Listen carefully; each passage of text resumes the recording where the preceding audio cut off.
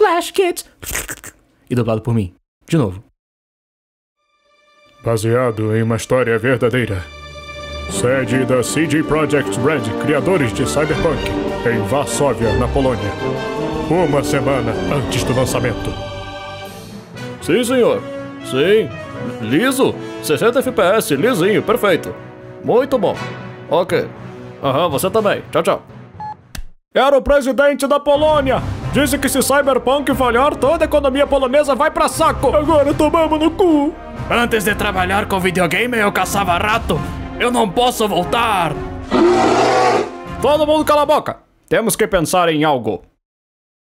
E se a gente fizesse um outro delay? Não, já teve delay o suficiente, Stanislav. Ah, mas só mais um delayzinho. Só mais um tiquinho.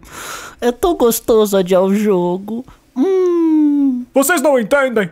Não existem mais delays!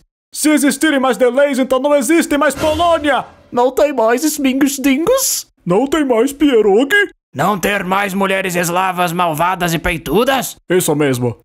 Se gamers virem a merda bugada que Cyberpunk é antes do lançamento, eles vão cancelar pre-orders e colocar Polônia em escuridão de mil anos. E se nós falarmos para reviewers que eles têm que mostrar a imagem do jogo que nós vamos dar? Aí gamers vão achar que o jogo é perfeito e vão manter pre-orders. Quer dizer, roubar centenas de milhões de dólares dos nossos fãs? Eu. Uh... Essa é uma questão moral que eu não me sinto equipado para responder. Mas o que você acha, Nasbo? Deus do Sol, editor da Polônia.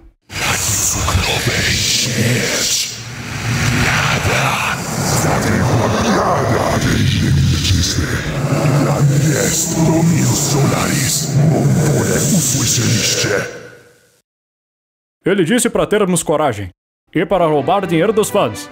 Obrigado, Nasbo. Então chegamos a um acordo. Mas. Ah, não, começou! O sentimentalzinho!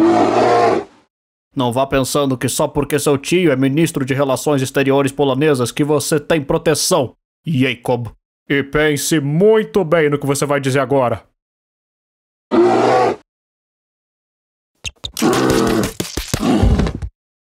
Estamos unidos por sangue agora, irmãos, e não ter mais volta.